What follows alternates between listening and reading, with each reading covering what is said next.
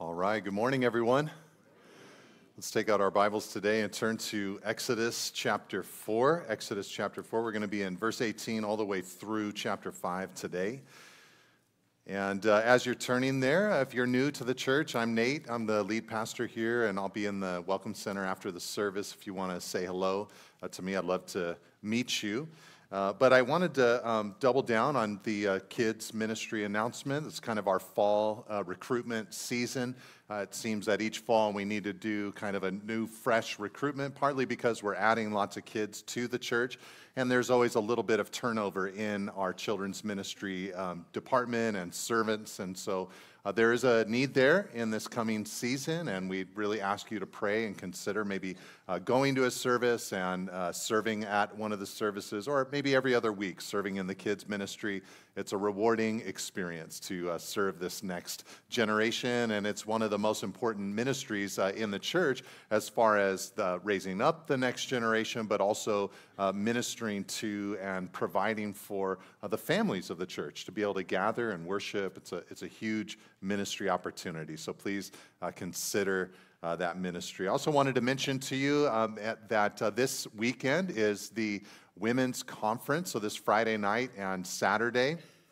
And I'm really excited about this women's conference. And uh, what I wanted to say today is simply that uh, if you have uh, kind of thought about it and thought, well, that's not for me, I want to encourage you that uh, if you're a woman, this is something that is for you. And in fact, uh, we've been praying for you specifically uh, if you have dismissed yourself uh, in your heart from being there uh, this weekend. So, sometimes we tell ourselves that we're too busy for something like this, but I think that God probably wants to break through and speak to us in the midst of that busyness and uh, craziness or chaos. Sometimes we tell ourselves that we're uh, too young for it. This isn't my group, this is a ladies' thing, and I'm not in that stage of life yet, but, but this is something for you. God wants to speak to your heart. Or you might say to yourself, I'm too old for something like this. There's going to be all these younger women there that are going to be laughing and playing games and all of that. But no, God wants to speak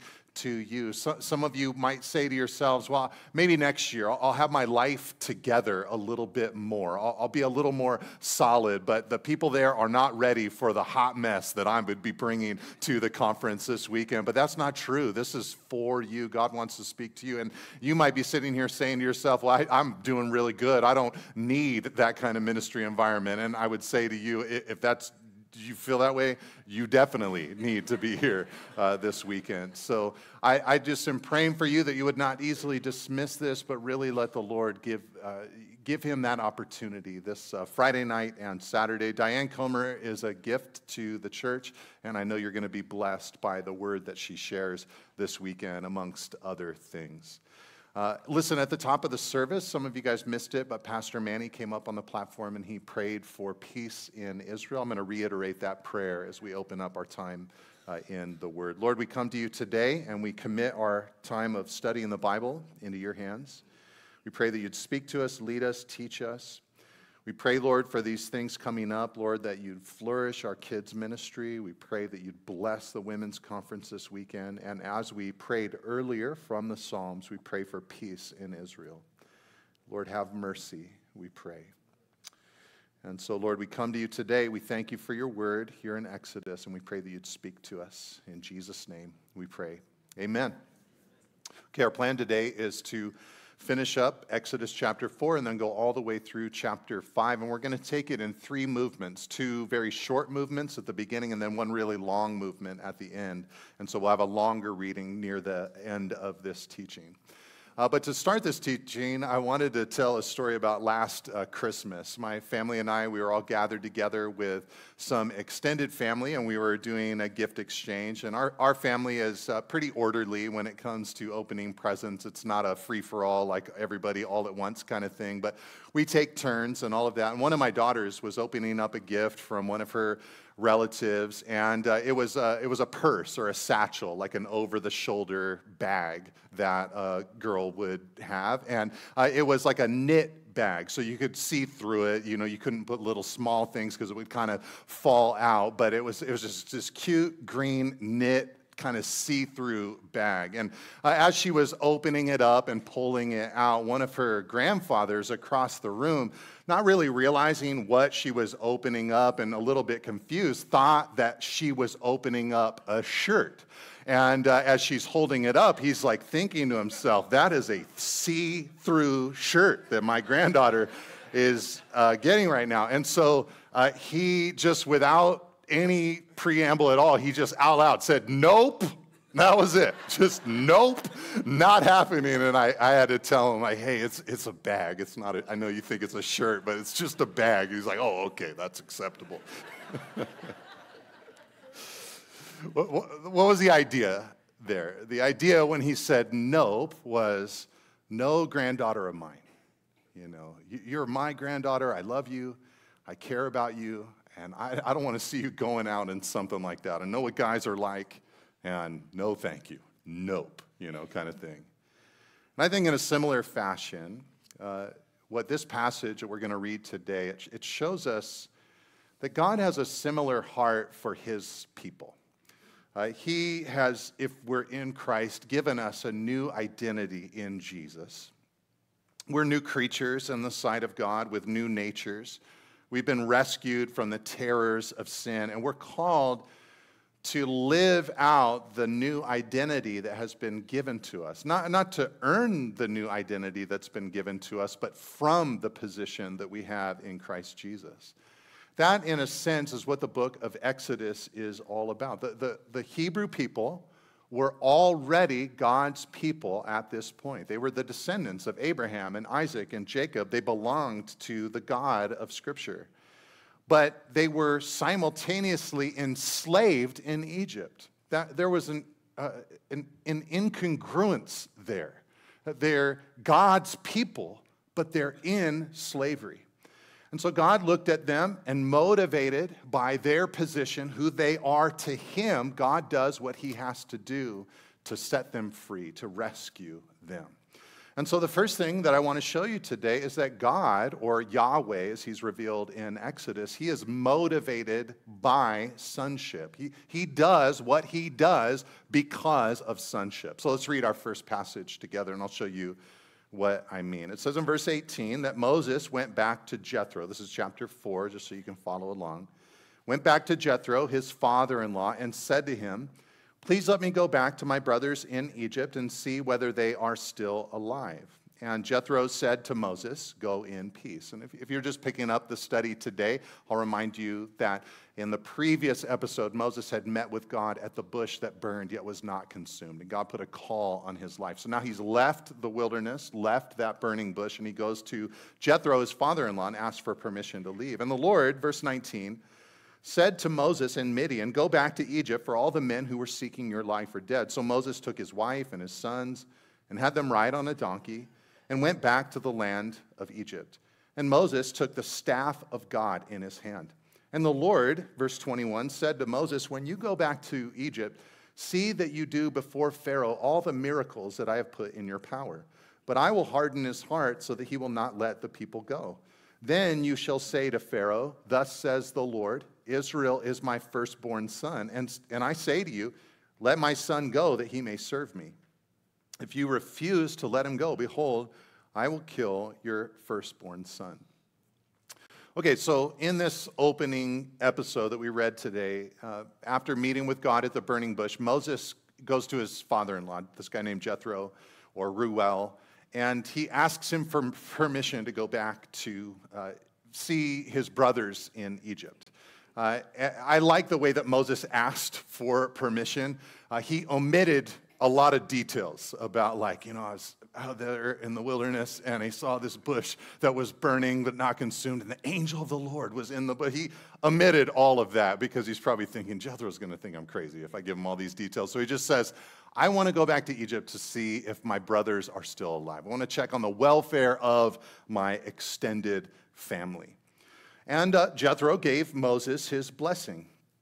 Uh, then God, Yahweh restated his exhortation to Moses in verse 19. He said, Go back to Egypt. And then God said something very interesting. He said, Go back to Egypt, for all the men who were seeking your life are dead. Now, knowing what we know about God from this book and outside of this book, this absolutely, positively cannot be God's way of saying, uh, I really couldn't handle those enemies. Uh, so now that they're dead, the coast is clear and I'm strong enough to deal with the new regime that is in place. God could deal with anybody at any time. So, what is he saying to Moses here? I, I think what he's saying to Moses is Moses, it's a new chapter. A chapter of your life has closed, that old chapter. There's a new regime in place. Everybody that knew, you knew is gone, and I'm going to do a new thing in your life. The process of deliverance is ready to begin. So Moses headed out with his wife, and we get a new little detail in verse 20. His family grew a little bit. Last time we saw him, he had one son. Now he has sons, plural, and we know later it's two boys. And if you've read the book of Genesis, there are some things that sound really similar to a major character in the book of Genesis, a man named Jacob. Uh, like Moses, Jacob had to flee to a foreign country under the threat of death. Like Moses, Jacob married a woman that he met first at a well. And like Moses, Jacob served his father in law, took care of his flocks actually for many years. Uh, both men had a promise that God would be with them and return them to their, uh, where they'd come from. And both men had to eventually part with, uh, from their father in law to reunite with their brothers. And as we'll see in a moment, both men were saved by the actions of their wives at some point. Uh, but there is a difference between Moses and Jacob. When Jacob left Laban's presence in the book of Genesis, he had 12 sons who eventually became the 12 patriarchs or the 12 name designations of the 12 tribes of Israel. He went out of Laban's presence with great possessions and with a big old family. But when Moses goes out of uh, Jethro's presence, he has a small little family. All he has is a donkey and the staff of God in his hand. I think that God is trying to hint at uh, a message here. He's saying Moses' family is back in Egypt. Moses' possessions are back in Egypt. Jacob came out with the 12 patriarchs, but the 12 tribes are there in Egypt, and Moses is going to go get his family. That's what's happening in this movement. Notice here that the Lord reminded uh, Moses that uh, Pharaoh would not receive him. That's what he tells him in verse 21. Uh, God had already told Moses that Pharaoh would not let Israel go unless compelled by a mighty hand. But here he says, I'm going to harden Pharaoh's heart in verse 21 so that he would, will not let the people go. And uh, when this hardness comes upon Pharaoh's heart, God tells Moses, uh, then you need to say to Moses, God says, Let my son go, that he may serve me. If you refuse to let him go, I'll kill your firstborn son.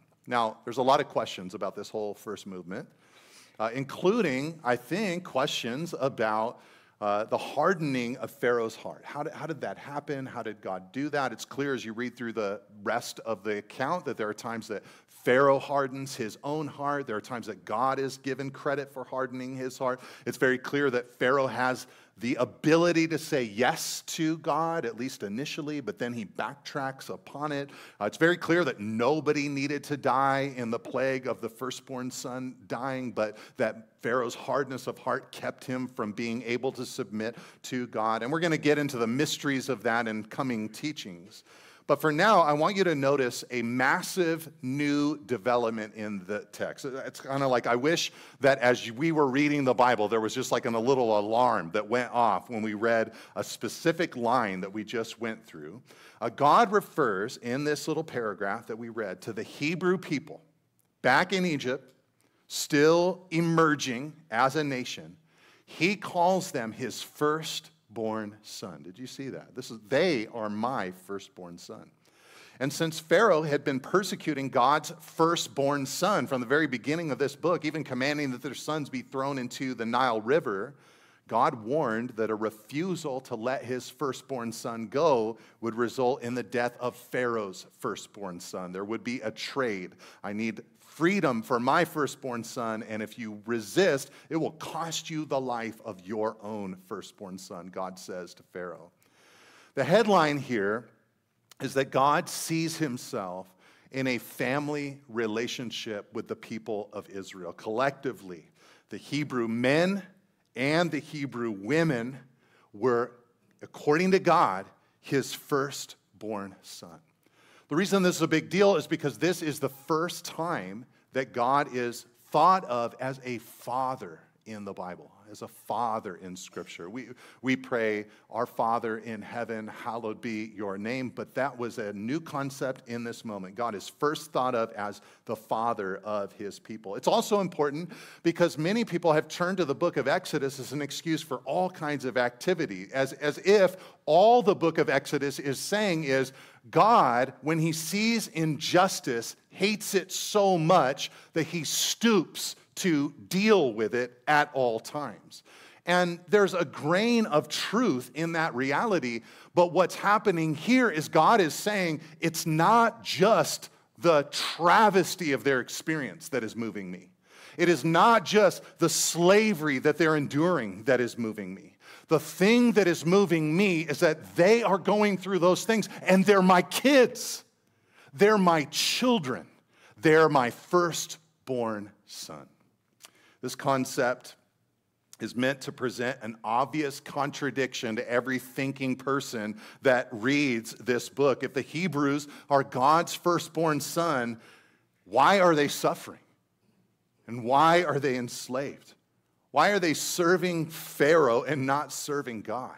This is a problem to be fixed, and that's why God is moving here in the book of Exodus. He's drawing the people out so that they can be who they really are. As long as they were in slavery in Egypt, they were not acting like God's firstborn son. And so he needed to set them free so they could run in the identity that God had given to them. This is an important lesson for us to learn. God, in his work in our lives, he is so motivated uh, by who we are in his sight. You know, the Bible teaches that when you become a Christian, when, when you, and when I say become a Christian, what I don't mean is uh, when you decide to tick all the official boxes, like I'm going to get a, a, a, real Bible and I'm going to uh, go to, I'm going to find a church and I'm going to attend it. What I, what I mean by becoming a Christian is when, when you yield to Jesus when you turn from your sin and repent of it and ask for Him to forgive you and to cleanse you of all your unrighteousness, when you lean upon His righteousness completely rather than your own, when this event transpires in your life, the Bible teaches that the righteousness of Jesus is deposited into your account so that the Father sees you now as He sees His only begotten Son. You have a new identity, in other words, in Him. And God is then looking at us and saying, That is how I see you.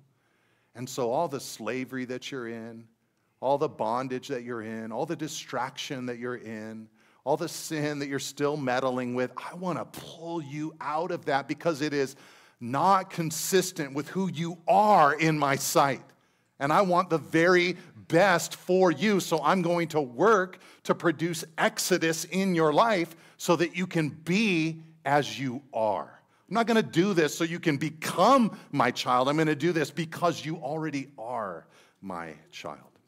It's just such an important thing for us to understand. God is motivated by the fact that we are his children.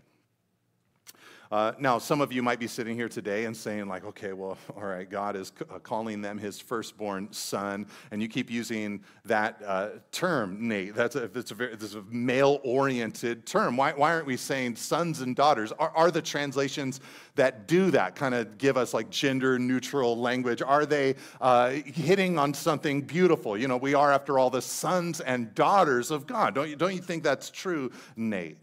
Well, what I would say is that translations like that miss the theological point that God is making. God is saying, You're my, you have the position of my only begotten son. So, male or female, when you come to know Jesus, you're receiving the position of the son. That's why God says to his church, You are as my firstborn son. And so God is motivated by that. He wants us to be in living in consist, consistently with uh, who we are. And he, he's motivated by that. I remember a few months ago, uh, it was in between uh, church services. I think it was just a random Sunday, but it happened to be a little stretch where my vocal cords weren't doing that good. So I, I'd bring to the church uh, this uh, steamer. And uh, it plugs in, you put a little bit of water in it, and it just produces this steam, and then you like put your face in it. It's got like this clear tube that you put your face in. It, if you're, I mean, being from California and having gone to Pacific Grove High School, it looks like you're doing something else. Uh, when you're hooked up to this thing. And I, so I was back behind the stage and I was in between services. I'm doing this thing, there's steam everywhere and all that. And I'm just by myself. And Pastor Manny just wanted to see if I was okay. And so he just opened the door, and like the look on his face was just this look of shock like, what is Pastor Nate doing right now? And he just shut the door real quick. And then he, I think he realized, like, if he is in there smoking weed, I need to deal with it. So he opens the door again, and he's like, okay, he's just steaming right now, you know. That impulse was this impulse of, like, oh, that's not consistent with who he is. That's not consistent. And our Father in heaven, sorry for this little illustration. Our Father in heaven, He looks at us and He says, There's who you are, and then there's your experience. And I want to bring your experience more fully in line with who you are in my sight.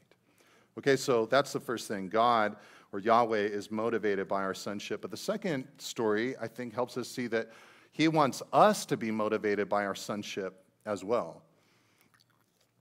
Let's read verse 24 to 26 to get together. It says, At a lodging place on the way, you know, back to Egypt, the Lord met him, Moses, and sought to put him to death. Then Zipporah took a flint and cut off her son's foreskin and touched Moses' feet with it and said, Surely you're a bridegroom of blood to me. So he let him alone. It was then that she said, A bridegroom of blood because of the circumcision. Now, there's probably no questions about this uh, passage. You probably, it's like, oh yeah, makes sense. I get it. this is one of those episodes that we like skip over in Calvary Kids. You know, we don't really bring, okay, class, today we want to talk to you about Zipporah and what she did for Moses. Uh, look, God is not dumb. He knows that stories like this, they're going to kind of jar us. They're on purpose. There's a, it's like supposed to create this like what is happening feeling in the reader. There's a fancy term for it. It's called narrative dissonance. You're like reading along. You're like okay i know what happens next. He goes to egypt and he does and then it's like god wants to kill moses. And you're like whoa what's happening? There's a lesson here that god is trying to bring to mind.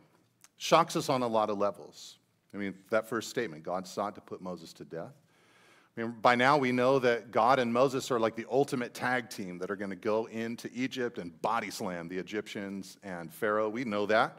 So we know Moses can't die. And God can't want Moses to be dead. I mean, that's just doesn't compute. And, uh, and then, of course, don't get me started on all the circumcision, foreskin, and bridegroom of blood talk. When I was 18 years old and I felt the Lord calling me to be a preacher of the word, I just, I said yes. I should have read the fine print that I was going to have to talk about stuff like this. Okay, in the story, what, what's happening here? Moses and his little family, they're rolling along uh, with their donkey, and he's got his staff. And something happens. We don't know what it was, but something happens that tells them that Moses is in danger. They're at the lodge. Maybe he's seizing. Uh, maybe he's convulsing. Maybe he's stroking. Uh, but whatever happens, Zipporah, his wife, she knew why it was happening. And uh, she knew exactly what to do. And she's not the first woman in the book of Exodus to save Moses' life. She's in a long line of female saviors. And she quickly took a knife, circumcised her son, and threw the foreskin at Moses' feet, and then called Moses her bloody husband. That's basically what happens. Now, it's a, this is an old story, you know, 3,000 years old in an ancient book.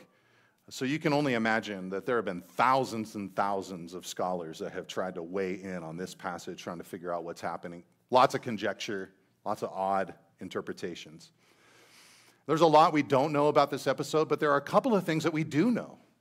Uh, one thing that we do know is that circumcision somehow is at the center of this episode. I, am sorry, that might make us feel a little bit queasy, but there's a reason for that, but it's at the center of the episode. Uh, we also know that God gave Moses and Zipporah a chance to correct something that was off. Whatever was off, God gave them a moment to correct it. I mean, I think I could say it like this. This is, this is written in anthropomorphic terms, meaning human language to describe God's movements, the, the acts of the divine. It says, like, God sought to put Moses to death. Don't you think, knowing what we know of God in the book of Exodus, that if he really wanted Moses dead, Moses would be like, you know, dead? so it seems that the gap between the mood that is expressed is meant to convey something to Moses and Zipporah. It's like we have an off ramp, we have a chance, we have a moment right now where we could deal with an issue before it becomes a bigger problem in our lives. Uh, God had told Moses a lot of times already at this point who he was. He, he over and over again. I mean, it's like ad nauseum. He says, I'm the God of who? Abraham, Isaac, and Jacob. What he wanted was for Moses to act like who he was. He wanted Moses to act like he was in the line of his spiritual ancestors. And God had given to Abraham so many years earlier the outward sign for the male Hebrews of circumcision as a way to demonstrate the inward covenant that God had made with his people. And apparently, Moses had not followed through with this for his own son. So, what was Moses doing? Moses was not acting like a Hebrew. Moses was acting like an Egyptian. And he's about to go back to Egypt to deal with the Egyptians. And he can't be acting like an Egyptian when he's dealing with the Egyptians. He's got to be who God has made him to be. He's got to be a Hebrew man. And I think in some strange way, this episode reveals God's heart for us. Like I've been saying, he's motivated by our sonship. He wants us to act as we are, but he also wants us to be motivated by our sonship. God does what he does because of our position in him, but he wants us to do what we do because of our position in him as well. The Hebrew people, after hundreds of years in Egypt, and sometimes we talk about, you know, 400 plus years in Egypt. And sometimes you'll hear people say, sometimes I'll even slip and say, 400 plus years of slavery in Egypt. Look, it wasn't all bad. At the end, it became brutal. At the end, the Pharaoh became uh, uh, an adversary of the Israelites. But for lo- a lot of years, centuries, they were living in peace, they were living in prosperity. And in times like that, a child of God can forget who they are. And so God is trying to remind Moses this is who you are. You're going to go and lead a people who have forgotten who they are. You got to remember who you are so that you can remind them of who they are. God hates for us to experience less than his best, so he needed his man to live in his calling as a way to help others live in theirs. And God wants the same for us. He's paid the ultimate price so that we could be his children, so that we could be his sons, and he wants us to be motivated by that position that we have in him. You know, so many struggle for identity in our modern era. And so many are driven by a self identity. We look within, and I'm going to talk about this in our next study of Exodus. But what God is saying is don't look within for who you truly are. Look to me for who you truly are. Hear from me who you are in my sight.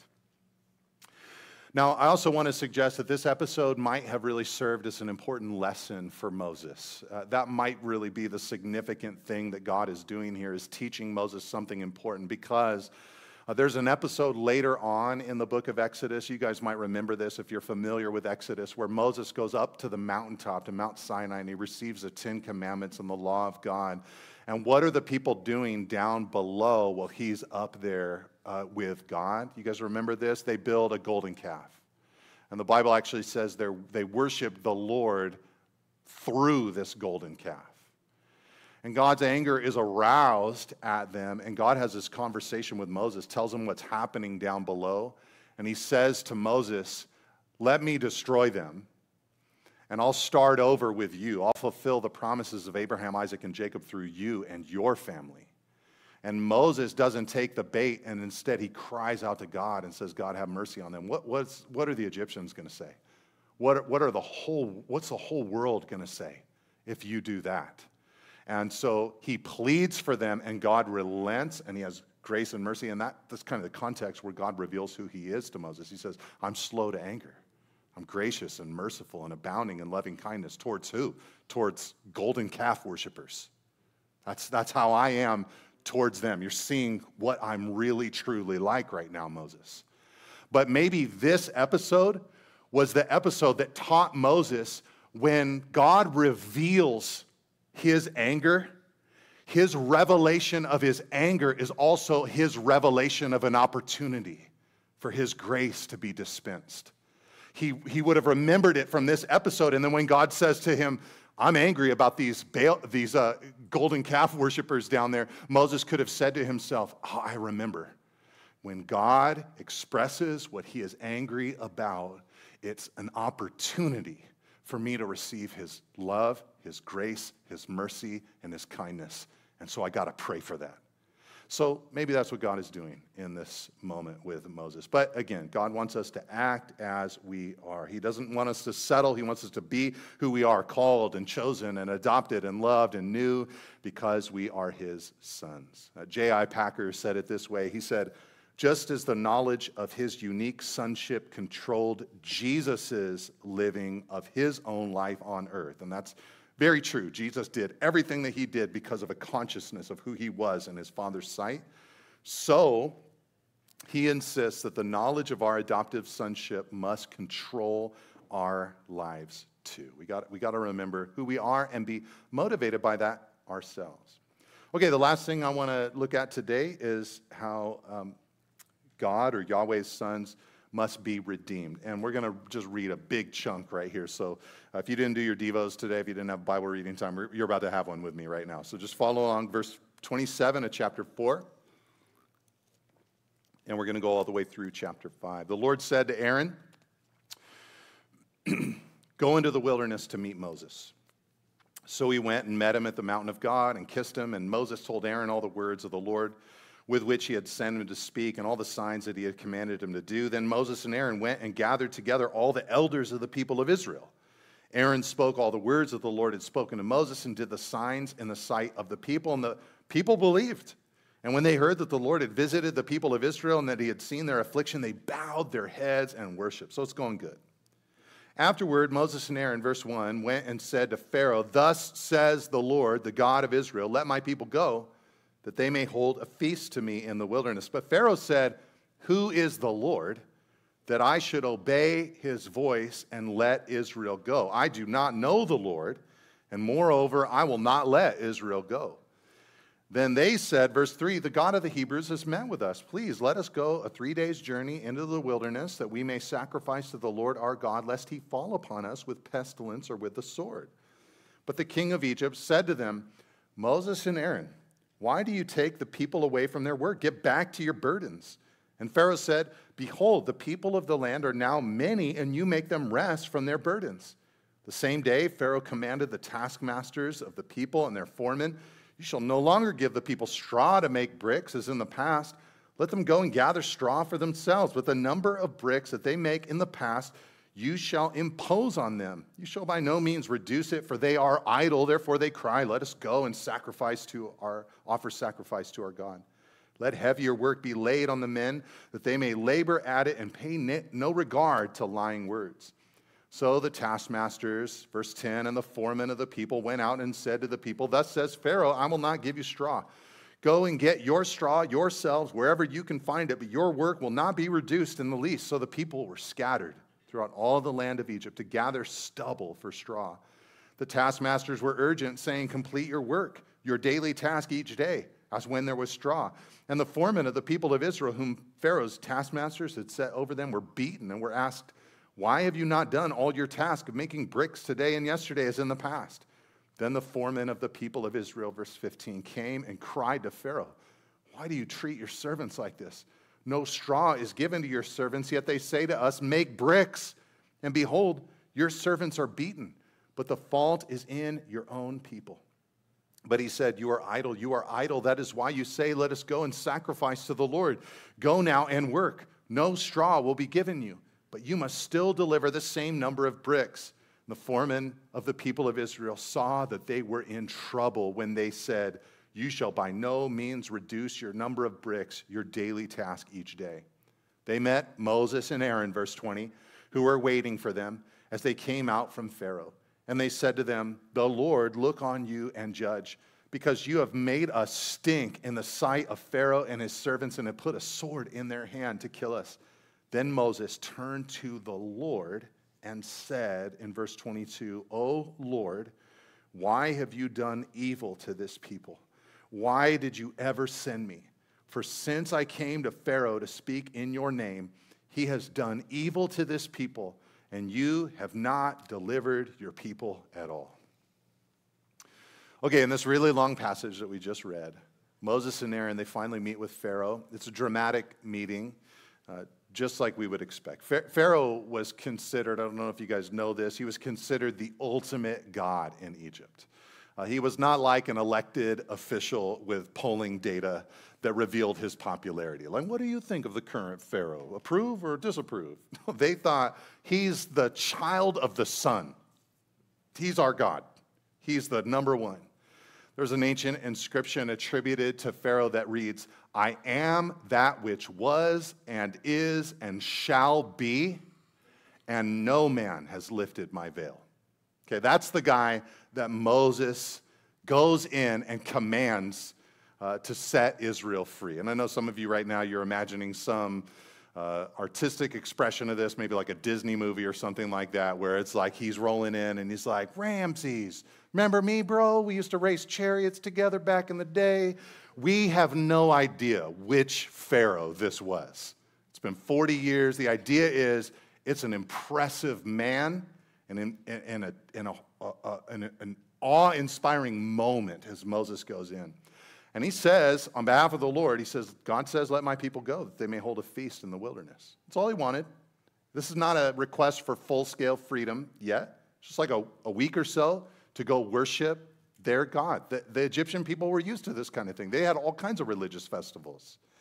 Uh, but it's clear that this Pharaoh did not feel about the Hebrew people like the last Pharaoh at the beginning. Remember the last Pharaoh? He looked at the numbers of the Hebrews and he felt threatened. He's like, we got to decrease their numbers because they're going to rise up against us. This Pharaoh saw them as an asset to be managed. He's like, these people are pumping out bricks to help me build my empire. Uh, they can't stop working for even a day. So, no, the people cannot go.